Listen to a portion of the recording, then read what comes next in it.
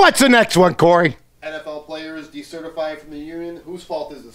DeMaurice Smith, they, they, they decertified from the union. It looked like to me that they did not even want uh, uh, an agreement. Okay, they decertified. The owners are saying we'll keep going, we'll keep going. DeMaurice Smith might have made a tactical mistake in the year where the owners were going to be congenial. In the year where they took away the 18 games, they decide they wanted to certify. There's going to be issues. It will be done at the bargaining table. I believe the players made a tactical error. I was all for the players until they decide to ban, disband the union. How how do you disband the union? How do you decertify just like that?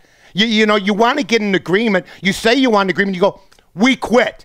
They walked away from the table, not the owners. Okay? The owners are the guys that put up the money. The owners are the guys that have to do something successful in life before before they can buy a football team. And when they buy a football team, they don't like being talked to by like a guy like Peyton Manning, where uh, Richardson, the owner of the Panthers, basically told him, You don't know what you're talking about, son.